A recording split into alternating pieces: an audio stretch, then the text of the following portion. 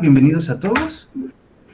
Y antes de comenzar, eh, déjenme eh, compartirles una breve semblanza sobre nuestro ponente del día de hoy, el doctor Jonathan Betancourt Ocampo. Jonathan Betancourt realizó sus estudios de pregrado en física pura en la Universidad de Antioquia, en la ciudad de Medellín, Colombia. Posteriormente estudió su maestría en física aplicada y doctorado en física teórica en el CIMBESTAF Unidad Mérida. Actualmente realiza una estancia postdoctoral en el Instituto de Ciencias Físicas de la UNAM, Campus Cuernavaca.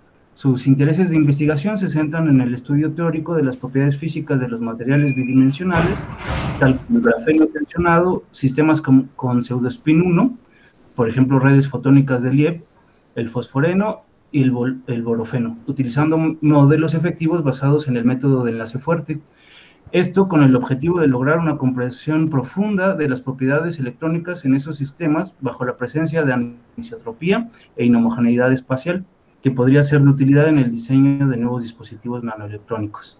Y sin más preámbulo, te dejo la, palabra, Jonathan, cuando quieras. Ah, muchas gracias, Emilio, por la presentación. Eh, en este coloquio les vengo a hablar de un tema que desde mi punto de vista personal es muy bastante interesante. Eh, muchas gracias por la invitación a, este coloquio. Eh, y les voy a hablar pues de, de, lo que sería el transporte balístico y anisotrópico en materiales bidimensionales, particularmente el grafeno deformado y el fosforeno. Entonces, este es el contenido de, el tema que les voy a hablar hoy.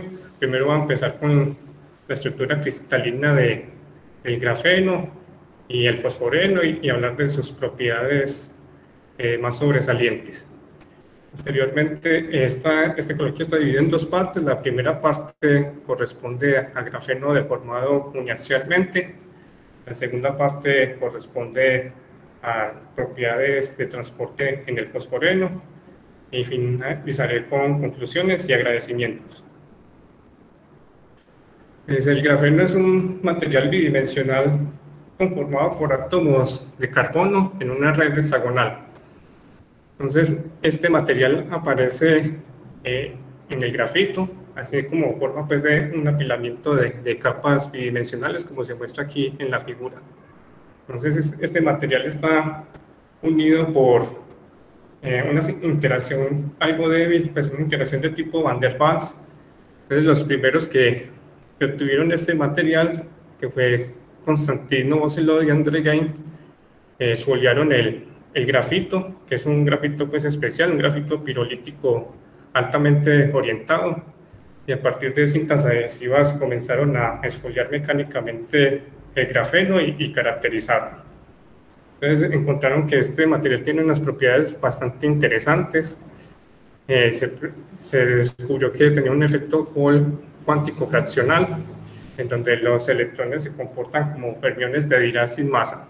O sea que las partículas ahí, los electrones en este material se propagan como partículas pseudo-relativistas con una velocidad el límite dada por la velocidad de Fermi en lugar de la velocidad de la luz. Y y también tiene pues una alta movilidad electrónica que lo hace ideal para aplicaciones tecnológicas. Es el material hasta ahora eh, que se ha descubierto ser el más resistente ante deformaciones mecánicas.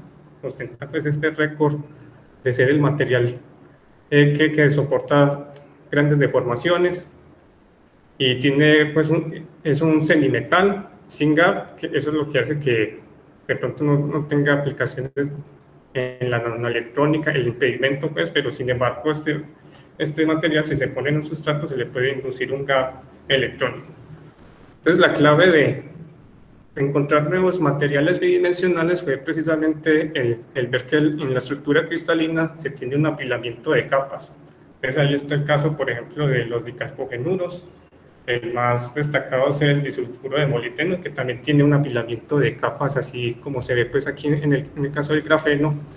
Pero la desventaja es que tiene una eh, movilidad de carga por debajo pues, de, la del silicio.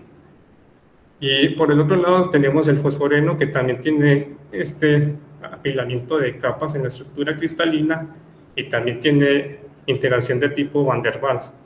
Entonces, cuando este material se puede pues, igualmente espoliar mecánicamente y se puede separar cada una de las capas y, verse pues una estructura cristalina dimensional como la que se muestra aquí. Este viene de, de esfoliar el, el, fósforo negro. Aquí se muestran en las figuras eh, el caso de, de, la esfoliación pues, vista en microscopio óptico, una sola lámina de, de grafeno y, y, de fosforeno. Entonces, la, de, la, de la estructura electrónica de grafeno que llama más la atención a los físicos teóricos es precisamente que se forman conos de Dirac, o sea que los electrones tienen, se comportan como partículas relativistas. Entonces hay que identificar, en este caso hay que identificar dos tipos de, de, de pseudospin, o sea que no es el electrón real, pues, no es el spin real del electrón, sino que es un, un spin asociado que corresponde pues a la simetría triangular que tiene la red hexagonal, que son dos redes triangulares. Entonces, por ejemplo, los puntos rojos corresponden a, pseudoespín, por ejemplo, hacia arriba, y los puntos azules pseudoespín hacia abajo.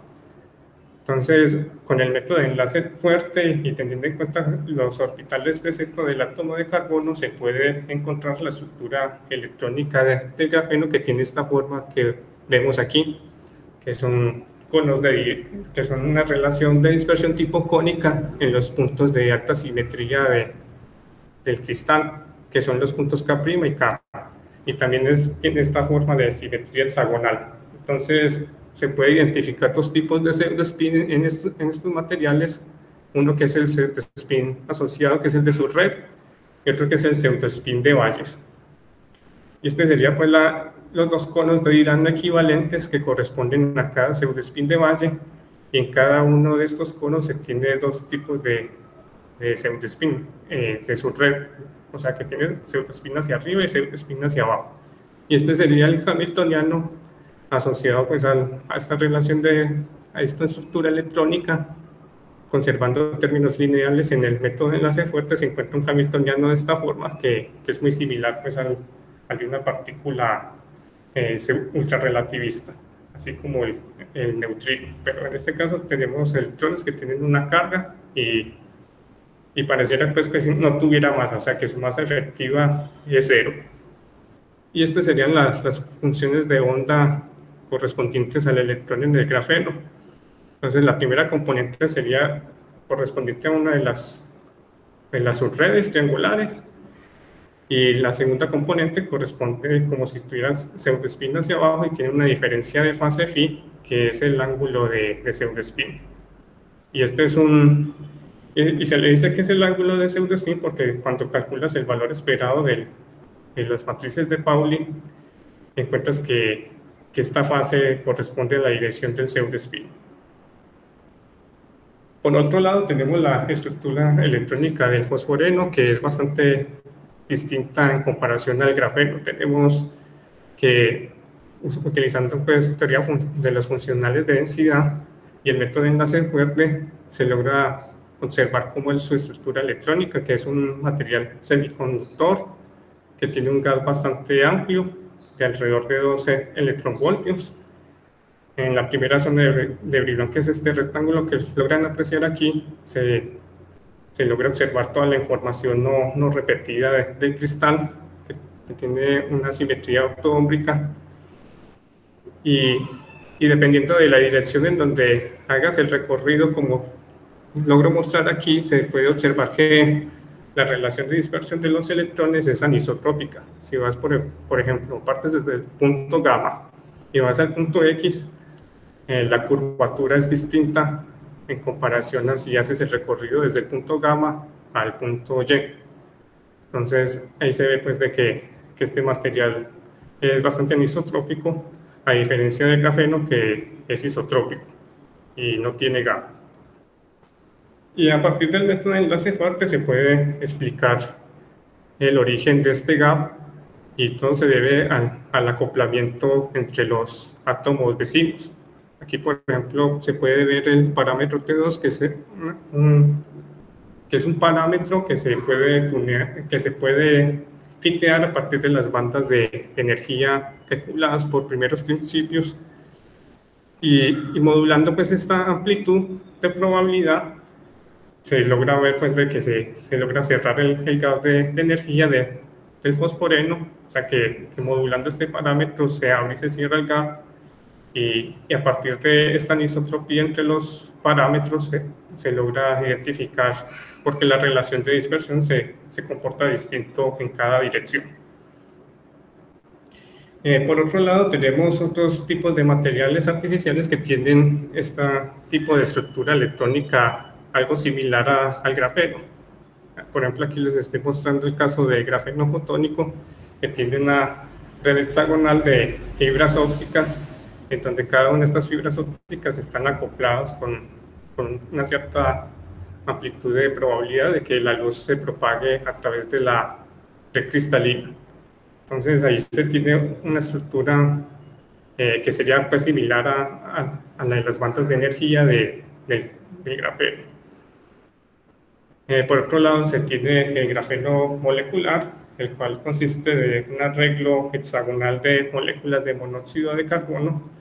La ventaja de estos sistemas es que se puede, por ejemplo, hacer la emulación de, de formaciones mecánicas, como se logra apreciar aquí en la figura que algo que sería pues algo difícil pues de realizar de pronto directamente con el grafeno.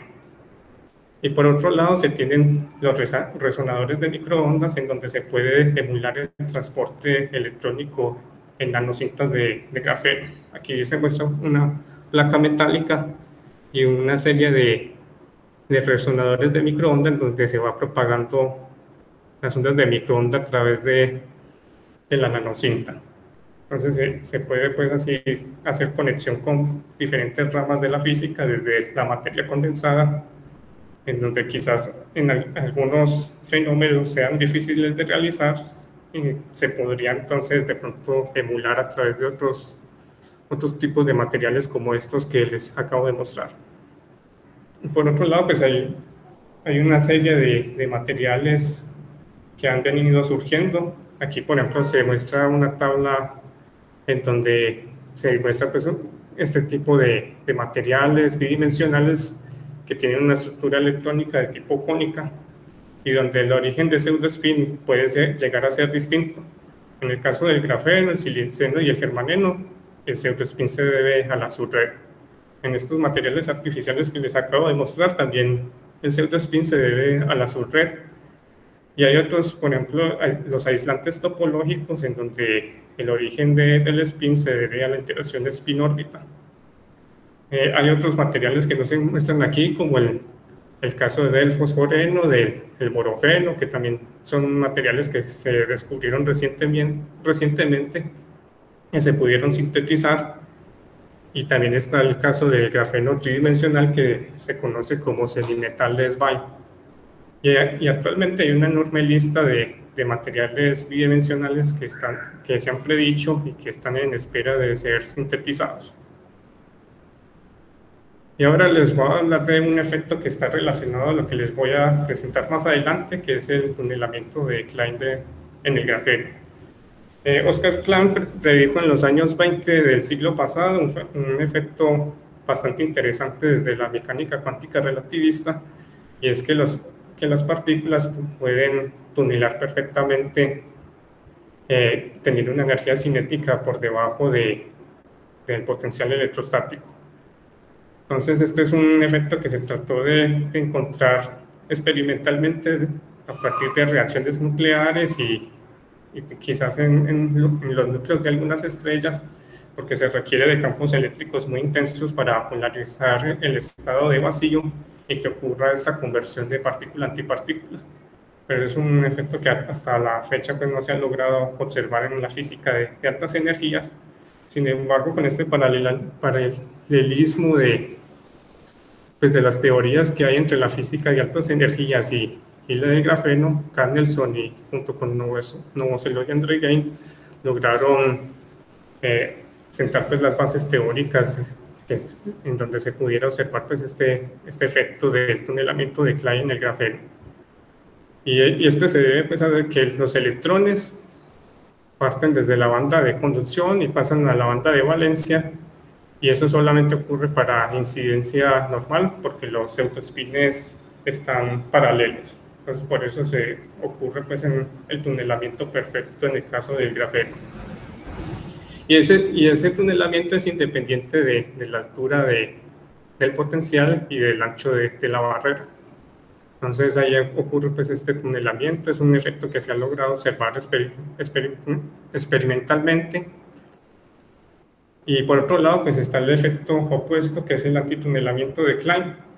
Este no se tuvo que ir muy lejos para observar este fenómeno. Este ocurre en el caso de, de grafeno bicapa, en donde las partículas inciden en, la barrera de potencial, pero debido a que tienen los pseudos, opuestos, ocurre una reflexión perfecta en la dirección normal.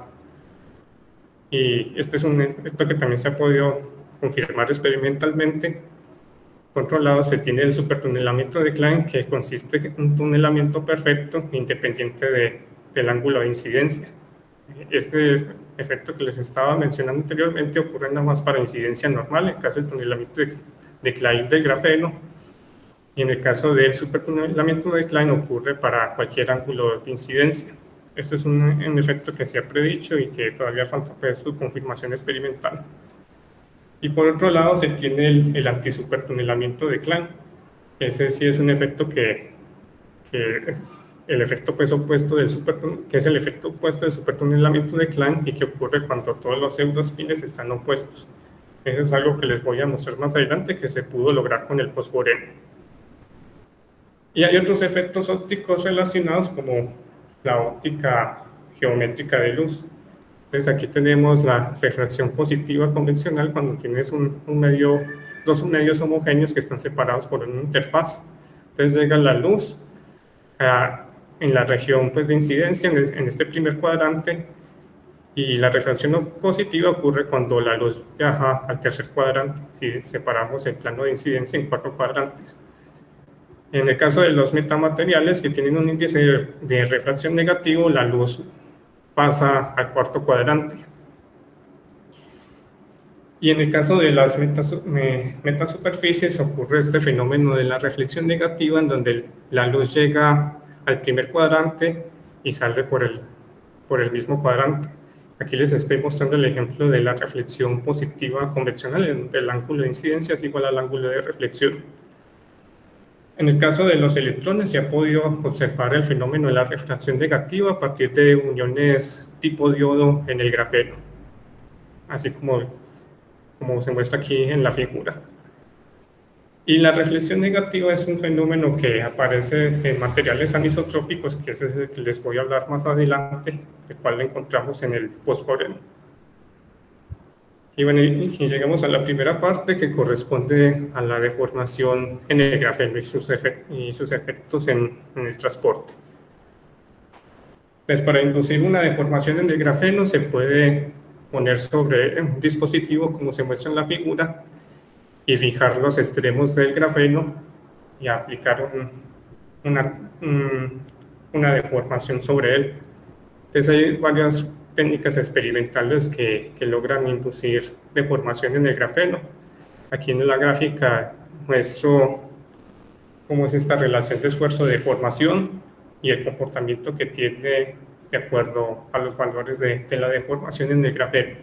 Entonces, para un, un rango del 0 al 10%, eh, la ley de Hooke es lineal, pero ya más allá del 10% el comportamiento es no lineal y para un cierto valor alrededor del 30% de deformación ocurre la, la ruptura del grafeno. Y este naturalmente tiene esos efectos en la estructura electrónica. Por ejemplo, las, las, más la, las principales son que los puntos de Dirac, esos, esos puntos en donde se tocan las bandas de, de valencia y de conducción, se desplazan con respecto a los puntos de alta simetría. Eh, otro efecto que es bastante relevante es el que los conos se vuelven elípticos al, al deformar el grafeno. Y un efecto que ocurre a segundo orden y que la mayoría de las veces se desprecia es la inclinación de los conos. Pues por otro lado, se tiene, nosotros estudiamos aquí el grafeno deformado aplicando una tensión uniaxial y esto induce una anisotropía en la estructura cristalina. Entonces aquí tenemos el grafeno deformado, eh, las amplitudes de probabilidad de los electrones para pasar de, los sitios de, de, color rojo a los de color azul son distintos ahora y esto causa anisotropía en la relación de dispersión como se muestra aquí en la figura. Entonces, utilizando el método de enlace fuerte, uno puede encontrar un hamiltoniano efectivo que tiene esta forma, que es un hamiltoniano de dos bandas de energía. Y entonces aquí estamos mostrando el caso de, de la banda de conducción, un contorno de densidad de la energía, en donde se muestra pues la, la simetría hexagonal, que es así, es un hexágono como distorsionado, y donde los conos aparecen en este punto, como se muestran aquí haciendo un zoom. Entonces, este, este punto es de interés, ya que los cálculos de, con la teoría funcionales de densidad y con el método de enlace fuerte en esa región de baja energía coincide muy bien. Entonces, expandimos el hamiltoniano, este hamiltoniano de, dos bandas alrededor de esos puntos y conservamos términos a, primer orden en el vector de onda y se logra encontrar pues este comportamiento cónico en la relación de dispersión. Aquí tenemos los coeficientes que son, serían velocidades complejas y que están relacionados con los vectores de la red. Estos vectores de la red se pueden calcular directamente utilizando la teoría de elasticidad. Y hay una cantidad muy importante que es relevante pues, en, en el transporte, es la dirección del pseudo-spin, que está relacionado de esta forma con los vectores de onda que vectores de onda electrónicos. Y aquí les muestro el caso de, aquí estudiamos la dispersión de los electrones en una unión tipo diodo, en donde tenemos dos compuertas metálicas. Las compuertas metálicas inducen una densidad de carga en, la región 1, y una densidad de carga negativa, y en la región 2 una densidad de carga positiva. Entonces un electrodo dispersa electrones en todas las direcciones e, e impactan la, interfaz. Entonces, dependiendo de, del ángulo con que viaje el electrón, se va a tener un comportamiento distinto en la reflexión y en la refracción. Entonces, aquí logramos demostrar que cuando el grafeno es deformado en la dirección diagonal, el flujo de corriente electrónico eh, converge a un cierto punto de, de manera asimétrica y hay una cierta dirección en donde los pseudoespines son paralelos y ahí ocurre el tunelamiento perfecto.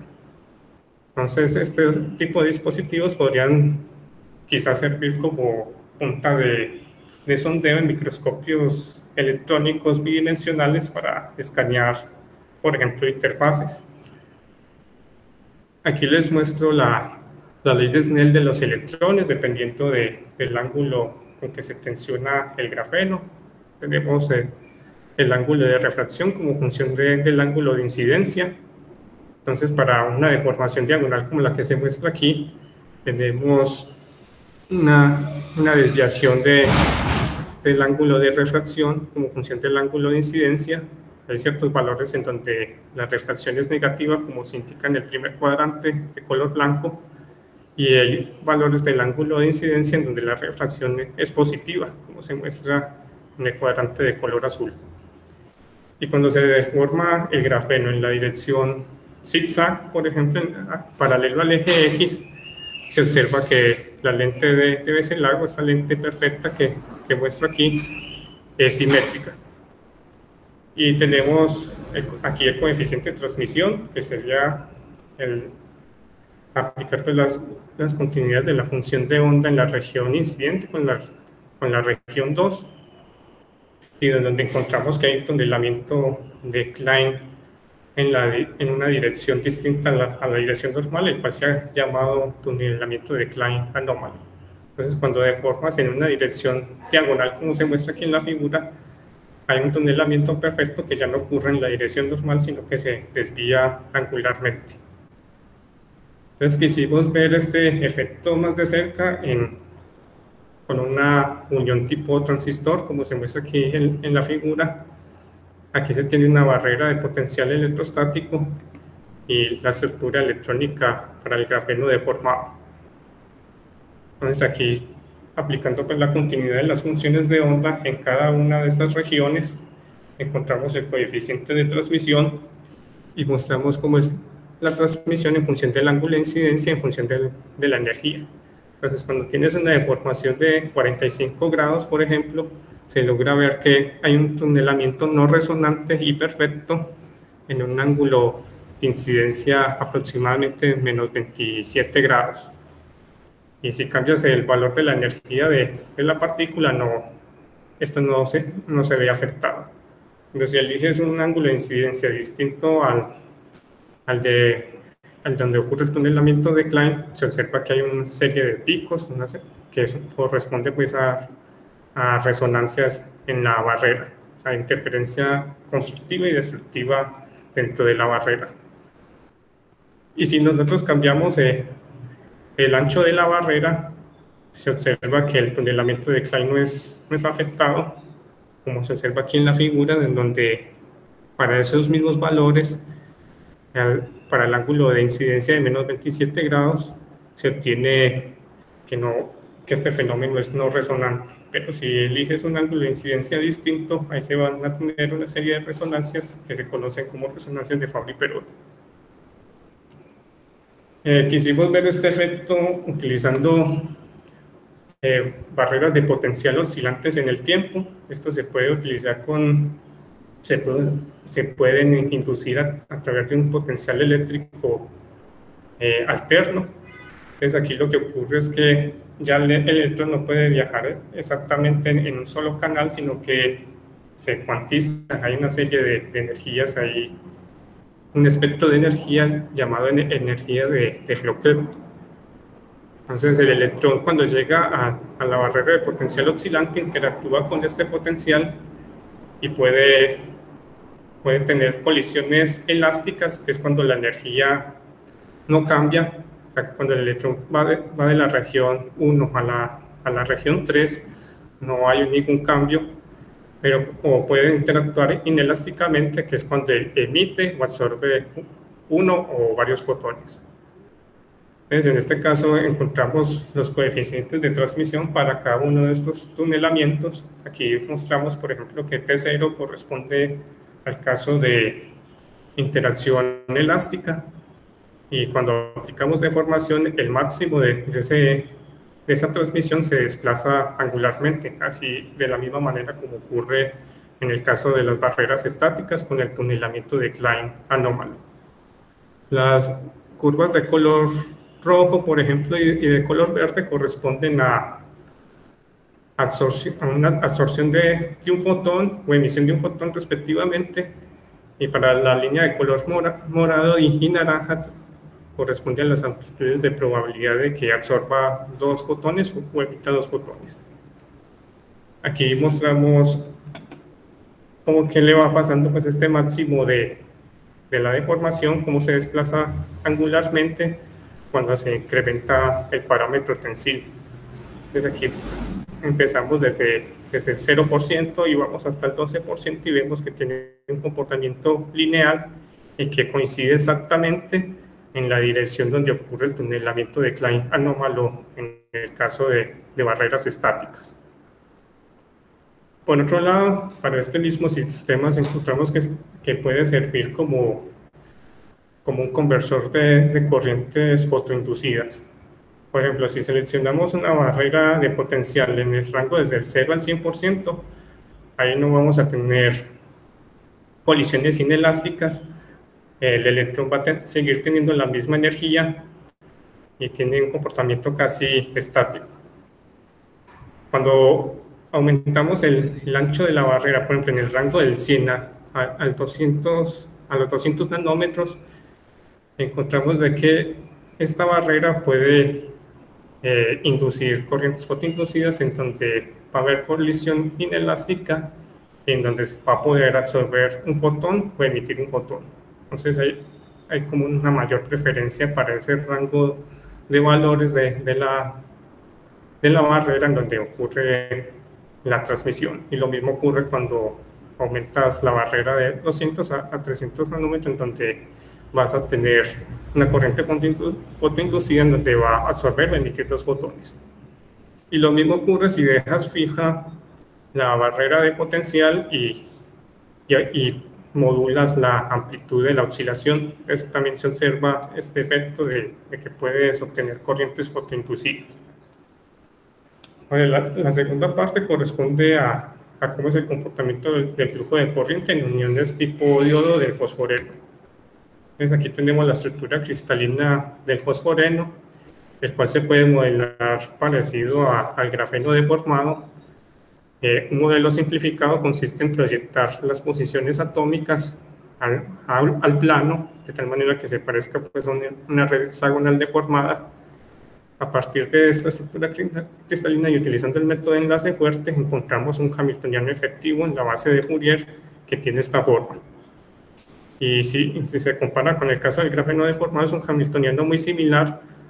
La diferencia es que la función g cambia de forma y tenemos este tipo de, de relación de, de, dispersión en el punto gamma, en donde tenemos un gap de energía y un comportamiento anisotrópico en la relación de dispersión.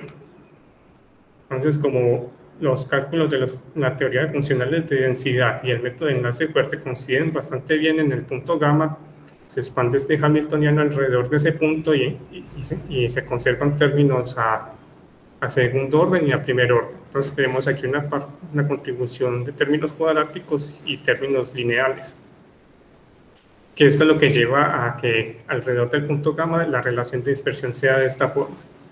Entonces lo interesante aquí es que en una dirección los electrones se comportan como fermiones de Dirac con masa y en la dirección perpendicular los electrones se comportan como fermiones de tipo Schrödinger porque tienen una relación de dispersión parabólica y en la dirección perpendicular que corresponde a fermiones de Dirac con masa, una relación de dispersión pseudo-relativista.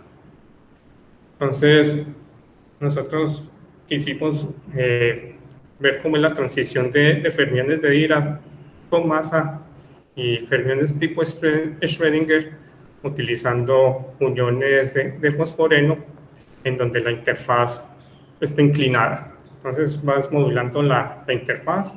Aquí tendrías dos compuertas metálicas en donde induces eh, carga negativa en una región y carga positiva en la, en la otra región. Entonces vamos a ver, esta sería la, la, estructura electrónica, cómo serían las relaciones de dispersión de los electrones. El electrón pasa de la banda de conducción a la banda de valencia para cierta energía.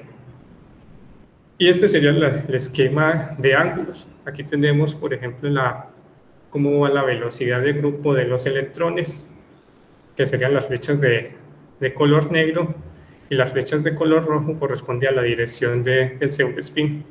Alfa el ángulo de la inclinación de, de, la interfaz, en donde vas a modular este comportamiento de fermiones de Dirac con masa a fermiones tipo Schrödinger. Entonces, a partir de cálculos numéricos utilizando el método de las funciones de Green fuera del equilibrio, se determinó el comportamiento de la corriente inyectando eh, una corriente en, en, los bordes de, de una nanocinta de grafeno, utilizando compuertas metálicas. Entonces aquí va la, la, corriente, la densidad de corriente que se muestra aquí de color rojo y y las aproximaciones desde este modelo que les acabo de mostrar que serían las trayectorias semiclásicas. Entonces, las flechas de color negro y de, color verde no corresponden a un feed de, la densidad de corriente, sino que son cálculos analíticos de, de, las trayectorias de los electrones. Y aquí se ve que hay una coincidencia eh, bastante buena con, con el comportamiento de la densidad de corriente. Entonces aquí les muestro cómo la, la construcción cinemática que establece cómo es la, la, dispersión de los electrones utilizando eh, las relaciones de dispersión en la región de incidencia y en la región de refracción. Estos ovalos que se muestran aquí serían las energías, una curva de energía constante. Aquí las líneas de color azul punteado corresponden a la conservación del momentum que intercepta estas, estas curvas de energía. Entonces las intersecciones corresponden al estado incidente, al estado reflejado y al estado transmitido. Y esta línea de color morado que se logra observar aquí es la inclinación de, de la interfaz. Entonces, de esta manera se logra relacionar cómo son los ángulos de incidencia y de reflexión establecimos una ley de reflexión analítica en donde relaciona el ángulo de incidencia y el ángulo de reflexión, que ya no es ahora el convencional, en donde el ángulo de incidencia es igual al ángulo de reflexión. Solamente cuando alfa es igual a 0 o alfa es igual a 90, en donde recuperamos la ley de reflexión convencional. Entonces aquí observamos un caso atípico, que es cuando se tiene una interfaz inclinada y en donde ocurre una reflexión negativa.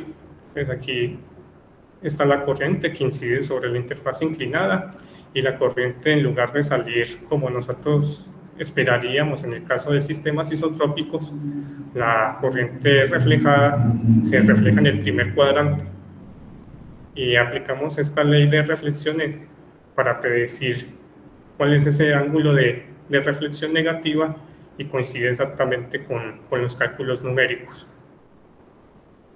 Y esta sería la, la, ley de reflexión como función del ángulo de incidencia para diferentes ángulos de, de la inclinación de, de la unión. Por otro lado, eh, estudiamos la, transmisión de los electrones de una, desde una región de incidencia a la región de reflexión utilizando la continuidad de las funciones de onda. Desde aquí mostramos cómo es la, la transmisión en función del ángulo de incidencia para diferentes ángulos de inclinación. Ese, nosotros encontramos que para una inclinación específica hay una transmisión completamente cero que es independiente del ángulo de incidencia. Entonces quisimos saber cuál es la razón de, de por qué esta transmisión es cero en el fosforeno. Y resulta que cuando graficamos las diferencias de, de los ángulos de pseudo-spin, encontramos que para ese caso específico se tiene que todos los pseudospines están antiparalelos, que tienen una diferencia de 180 grados. Entonces, por esa razón ocurre una transmisión nula en el caso de algunas interfaces inclinadas de, del fosforeno. Y quisimos ver qué sucede en, en, el caso de la densidad de corriente, para ese caso en específico, en donde se tiene transmisión cero para una inclinación de 90 grados, que sería la interfaz que se muestra aquí. Entonces, cuando la corriente llega, se inyecta en este borde, observamos que no se transmite absolutamente nada en esta región. Y si cambiamos el ángulo de incidencia, la densidad de corriente igual llega a la interfaz y se refleja totalmente y no se transmite absolutamente nada. Entonces este es el efecto que les mencionaban anteriormente que corresponde al antisupertunelamiento de Klein. Y este efecto pues podría ser usado para construir guías de onda perfectas. Por ejemplo, aquí estoy mostrando un canal en donde se inyecta una corriente y donde se podría guiar de manera eficiente y sin ninguna pérdida, ya que en las paredes ocurre lo del antisupertunelamiento de Klein, entonces el, el, electrón va a estar rebotando múltiples veces en, en el canal y se va a propagar perfectamente y lo vamos a poder dirigir eh, de manera eficiente. Esta sería la, la estructura electrónica y cómo sería el pozo de potencial. Aquí pusimos eh, dopaje positivo en, en, las paredes, dopaje negativo en la región del canal para que ocurra el antisupertunelamiento de Klein. Y esta está orientada en la dirección en donde ocurre este efecto. Aquí estamos mostrando cómo es el, el comportamiento de, de, la densidad de corriente cuando no, en ausencia de, de potencial, eh, del pozo de potencial, como se muestran las figuras A y B cuando ponemos una, unas paredes que confinen la, la corriente, esta corriente se va propagando de manera eh, ya eficientemente sin ninguna pérdida. Y si cambias el, el ancho de, del canal, se sigue transmitiendo sin, sin ninguna fuga en, en las paredes. Eh, de la misma. ¿Sí? Yo, yo, perdona la, la interrupción. Son, sí. eh, quedan los 10 minutos que te iba a avisar. Ah, sí, ya, ya, ya me falta poco para terminar. Eh, ah, perfecto, muchas Sí. Entonces aquí muestro pues el caso de, de, la inducción de modos de la guía, así como en el caso del, del pozo de, de potencial en, en, la mecánica cuántica, en donde tenemos las, las condiciones ideales de paredes infinitas, pero aquí debido pues, al antisupertunelamiento de Klein no tenemos esa, esa condición ideal de paredes infinitas, porque podemos confinar perfectamente los electrones. Entonces, dependiendo del ancho de, del canal y de, y de, la energía, se pueden introducir modos de, de propagación.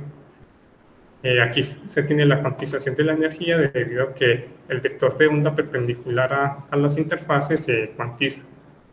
Y las funciones de onda correspondientes a estos modos es idéntica al caso de, del problema de, de una caja unidimensional, del problema del, del confinamiento de una partícula mecánica cuántica. Y utilizando, eh, por ejemplo, uniones tipo cruce de caminos, uno podría guiar de manera eficiente esta corriente. Eh, la corriente, por ejemplo, se inyecta en este borde y, y, se ve como se, esta corriente se divide en varios caminos. Aquí tenemos, por ejemplo, el caso de una, un canal eh, y, el, y, el, otro es un perpendicular en forma de T y, y se ve pues como la, la corriente se reparte en diferentes direcciones y debido a que aquí no hay antisupertunelamiento de Klein, si tiene un poquito de fuga, no sé si logran apreciar, hay un patrón de interferencia ahí, y eso es debido pues que en esa dirección no hay antisupertunelamiento de Klein, pero en esta dirección sí hay el, el confinamiento perfecto. Aquí tenemos un, una unión tipo cuña en donde se ve pues cómo se dobla la corriente. Esto incluso podría servir entonces para construir de manera eficiente varios caminos, pues la corriente de un lugar a otro. Entonces, como conclusión, pues vemos que estos materiales anisotrópicos eh, tienen efectos bastante llamativos.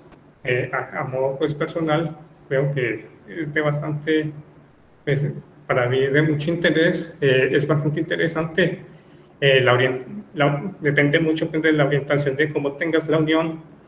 Ahí vas a tener efectos atípicos en el, en el transporte de la corriente, como les acabo de mostrar, la reflexión negativa, el antisupertunelamiento de Klein y que se puede obtener guía de, de onda de electrones perfecta. Eh, ustedes pueden encontrar información adicional en algunos de, de nuestros trabajos que se muestran aquí. Eh, un agradecimiento muy especial a CONACYT, que, que, sin su apoyo pues no se podrían haber hecho todas estas investigaciones. Y muchas gracias a ustedes por su atención y por invitarme a este coloquio. No, eh, muchas gracias a ti, Jonathan, por, por el coloquio, por la plática interesante. Eh, bueno, ahora tenemos muy buen tiempo para, para, preguntas por parte de la audiencia, entonces quien quiera puede ya sea levantar la mano o comenzar a hablar. Ok, igual mientras van saliendo preguntas, a mí me quedó una, una pregunta muy tonta, pero una duda que tenía mientras presentabas sí. los resultados finales de los que hablabas. No me quedó claro si estos estudios son solo teóricos o también o son o los o, o, o tienen como la contraparte experimental. Sí, por el momento eh, el caso del fosforeno, de lo que les mostraba, la reflexión negativa y, y este el antisupertunelamiento de Klein es un, una predicción por el momento. Eh, si hay avances en esa línea pues experimentales en donde se pueda eh, demostrar estos fenómenos. Por ejemplo, el caso del grafeno, el tunelamiento de Klein sí se ha logrado verificar experimentalmente. Eh, el, el antitunelamiento de Klein, o sea, la reflexión perfecta en una, en la inciden, para incidencia normal, esa sé que también hay, hay comprobación experimental. La refracción negativa, que es distinto pues, a la reflexión negativa que les acabo de mostrar, esa sí también tiene su, su contraparte experimental. Esperemos de que, pues yo veo que, que de acuerdo pues, a los avances que hay ahora en, en el caso del de, fosforeno, veo que sí es, es como muy como factible de que ocurra una observación experimental de estos efectos que les acabo de mostrar. Ya. Entonces, o sea, los resultados de ustedes están basados en resolver numéricamente la función de onda. Ah, ya. En la función de onda, por ejemplo, eh, en el caso del de doctor Thomas Stedman, él utiliza el método de las funciones de Green fuera del equilibrio para encontrar el, numéricamente la corriente que les mostré. El flujo de corriente, este flujo de corriente de color rojo, esos son cálculos numéricos. Y las líneas así como que, que están encimadas sobre el flujo de corriente, esos sí son cálculos analíticos, que viene desde el método de, enlace fuerte. Ah, ya, como es un, un hamiltoniano pues bastante simple de, de, dos bandas de energía, entonces se puede hacer de manera analítica, no requiere de, así de hacer grandes cálculos computacionales. Ah, ya veo. Ah, muy bien, gracias. De acuerdo. Eh, ¿alguien, ¿Alguien tiene alguna pregunta? Sí, eh, adelante, Julio. Ok, buenas tardes a todos. Sí, buenas tardes. Primero, muchas gracias por su plática. Eh, mi primera pregunta sería en cuestión al título de la charla, ¿a qué se refiere con transporte balístico? Ah, sí, tiene razón que, que por ejemplo, no había mencionado esto de de por qué balístico. Pues resulta que estos sistemas tienen eh, para la región de, de, bajas energías la longitud de y la trayectoria libre media de las partículas son más grandes que, que, las dimensiones del dispositivo. Por ejemplo, en el caso del grafeno que, que se ha tenido observación experimental, se cumple ese requerimiento de que las, la longitud de la trayectoria libre media y la longitud de coherencia son más grandes. Entonces, esto lo lleva a que las, eh, las ondas electrónicas ya se puedan eh, representar como rayos, como en el caso de la óptica geométrica. Es por esta razón que se le conoce como balístico, donde pues, el, el electrón sigue teniendo el comportamiento electrónico, pero sí, sí se puede obtener efectos muy parecidos a, a trayectorias de, de, partículas desde el punto de vista semiclásico.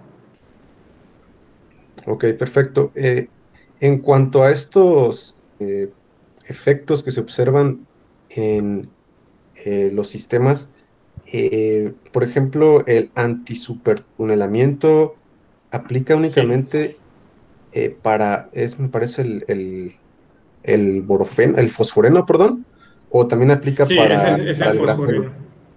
¿Para el grafeno, no, existe algo parecido? No, porque es que depende mucho de la estructura de, de pseudospin.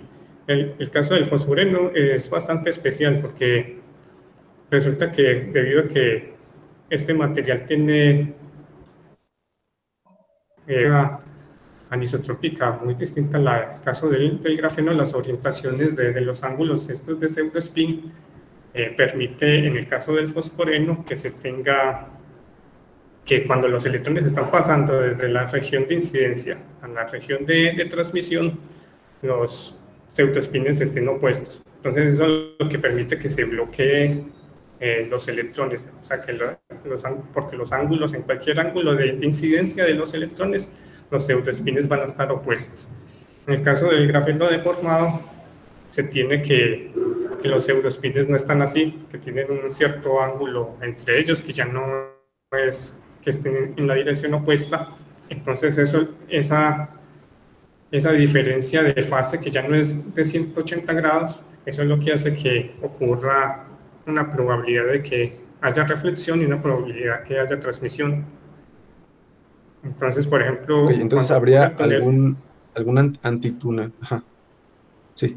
Sí, en el caso del, del grafeno bicapa ocurre que para incidencia normal los pseudoespines están opuestos. Entonces, por eso no, no ocurre esto de, de, la transmisión y hay una reflexión perfecta.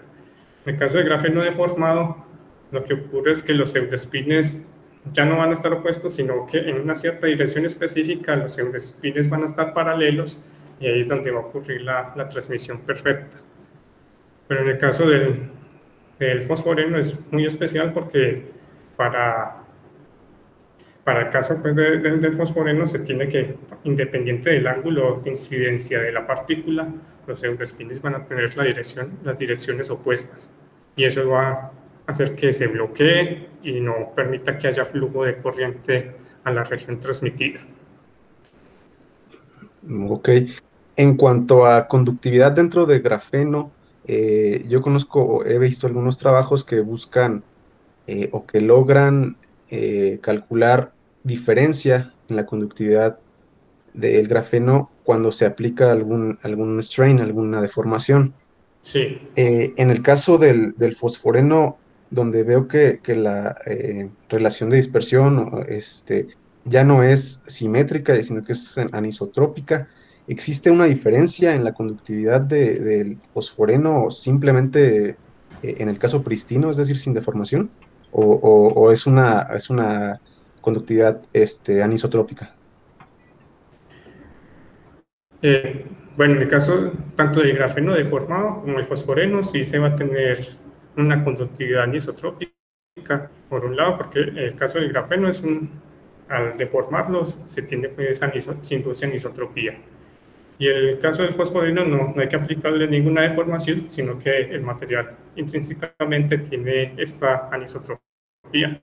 Sí hay diferencias pues, en, la conductividad. Pero lo más importante, en el caso de, del grafeno deformado, es que debido a que las bandas de conducción y de valencia se tocan en un cierto punto, o sea, que se forman con los de no se tiene un gap de energía. Entonces, ahí, ahí sí va a haber una conductividad para una cierta a regiones de baja energía. Pero en el caso del fosforeno, como hay un gap de energía, entonces al haber ese gap de energía también hay un gap en la, en la transmisión de la corriente, entonces el comportamiento de ambas conductividades, tanto del grafeno deformado como el fosforeno, van a ser muy diferentes ahí. Eh, perfecto. Eh, ya por último, ¿han trabajado con fosforeno deformado? Nada más como curiosidad. Pues por el momento no, pero sí hay varios trabajos ya que, tienen grafeno deformado, pero así, un tema así exactamente así como el, que estoy mostrando ahora, no, no lo he visto para el grafeno deformado, eh, para el fosforeno deformado.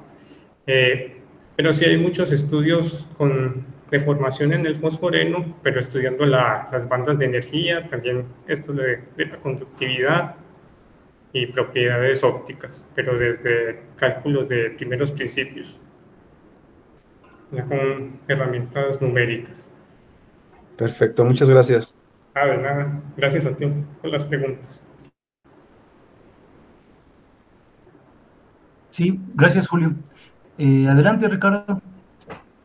Eh, primero, muchas gracias por la plática. Eh, tengo un par de preguntas. Las primeras son porque eh, no me quedó muy claro de la presentación. Tal vez me distraje, pero es ¿dónde es donde se aplica la deformación? ¿En la interfaz o, o, en toda la región izquierda o derecha de... Ah, en el caso del grafeno. Ah, la deformación está en todo el material, así como ah. En, en, lo que mostré aquí. Eh, Sí, eh, la deformación no es una región en específica porque hay muchos trabajos que tienen una deformación en específica en una cierta región para desplazar los conos de, de Dirac. Pero en este caso, pues, yo preferí pues así estudiar el, el grafeno deformado completamente porque se me hace como que es como un poco más, supongo yo, pues más sencillo de realizarse experimentalmente que tener una región deformada específicamente. Ok. Y tengo, tengo otro, otro par de preguntas. ¿Por qué eh, se, se, decidió estudiar el, fósforo? O bueno, en, mi lógica yo no sé para nada alguien que, haya, que investigue ese tipo de cosas, pero a mí me parecería más lógico que buscaran estudiar primero átomos que tuvieran la misma valencia, como el silicio. ¿Por qué se decide estudiar el, el fósforo en estas estructuras casi bidimensionales. Ajá. Pues hay un material incluso que, que se conoce como siliceno, que, el problema pues del caso del siliceno es que se, solo se ha podido obtener sobre el un sustrato de plata. Entonces ahí, en el caso del fosforeno y el grano, la diferencia es que este, estos materiales están suspendidos. O sea, se puede obtener de una suspendida necesariamente sobre el sustrato. Eh, y se decidió pues estudiar como mucho el, el fosforeno porque tiene una movilidad de carga muy similar al, caso del silicio. Ya no es tan buena como el caso del grafeno, pero, pero sí tiene eh, una movilidad electrónica similar al, al silicio. Y, y, la ventaja pues, que tiene el fosforeno con respecto al grafeno es que tiene un gap de energía y eso lo hace ideal para aplicaciones en nanoelectrónica. En el caso del grafeno, lo que, lo que habría que hacerle es ponerlo sobre un sustrato para poder que se produzca el gap de energía, que es algo importante para aplicaciones en nanoelectrónica. Entonces, por esa razón, entonces, se ha estudiado ambos temas, tanto el grafeno como el fosforeno, se ha estudiado bastante. Y por otro lado, porque tienen propiedades electrónicas y de transporte muy llamativas. Y la, última pregunta que tengo es de si, si se pudiera saber cuál es como eh, con estas deformaciones que se hacen, si, si se han estudiado deformaciones elásticas que no son estáticas eh, o, o, también torsiones del grafeno y si, qué tipo de efectos se han estudiado en ese sentido. Ok, sí. Eh, pues así, sí, se ha estudiado eh, bastante, pues así, en la parte experimental se ha hecho esto de la, la formación en grafeno, se, se, ha hecho pues así de forma, pensarlo, hacerle deformaciones en distintas direcciones. Y hay un fenómeno pues muy interesante que, ocurre para deformaciones inhomogéneas, que es la aparición de pseudocampos magnéticos que son campos magnéticos muy, muy intensos, pero no, pero no es que se induzca un, un campo magnético en el material, sino que es un campo magnético ficticio, en donde los electrones se curvan debido pues, a esta deformación inhomogénea. Y debido pues, a que el, grafeno tiene una estructura de forma hexagonal, es lo que hace que, que uno de los pseudocampos magnéticos. Y sí se han hecho estudios teniendo en cuenta pues esto, la, haciéndole flexión. Eh, también se ha tenido en cuenta, por ejemplo, poniéndolo sobre un sustrato e inyectándole como una especie de burbujas para inducirle deformaciones por fuera del plano. Pues al, inducirle estas deformaciones fuera del plano, eh, produces deformaciones inhomogéneas y ahí es donde se aparece esto de los pseudocampos magnéticos. Y, y sí, hay, hay, unos trabajos muy interesantes en donde se ha podido comprobar estos pseudocampos magnéticos en, en, ese tipo de deformaciones. Y lo que se, se, busca es tratar de encontrar una serie de picos eh, de, en la densidad de estados, que sería como niveles de Landau, pero no son niveles de Landau porque se le aplica un campo magnético, sino que son eh, niveles que son inducidos por, por esta deformación inhomogénea. Y, y, de esta manera como que tratas de, detectar que si hay un pseudocampo magnético, que no es, como repito, no es un campo magnético real, sino que es un campo magnético ficticio, pero que puede servir para manipular las trayectorias de los electrones. Gracias. De nada. De acuerdo. Muchas gracias, Ricardo, por, la, por las preguntas. Eh, Julio, no sé si alguien más tenga alguna duda. Julio y Ricardo, ¿siguen o sea, no sé si tienen una duda o solo dejaron la mano levantada. Si tienen dudas, pueden hablar. Ok, o alguien más tiene alguna otra comentario o duda. Eh, bueno, si no, entonces nuevamente te damos las gracias, Jonathan, por, el coloquio. Muchas gracias a ustedes y espero que les haya gustado este tema de, investigación, que es lo que he hecho en los últimos años. y espero pues así de que los pueda quizás motivar para hacer contribuciones en el área. Sí, claro que sí, y ojalá a ver si una vez que se restablezcan las actividades presenciales, a ver si, si nos visitas por acá, ¿no? Por, por Morelia. Ah, claro que sí, muchas gracias por la invitación. Bueno, pues, eh, bueno, entonces una vez más, gracias Jonathan y gracias a todos los, los que Gracias a, ustedes por asistir y por invitar al coloquio.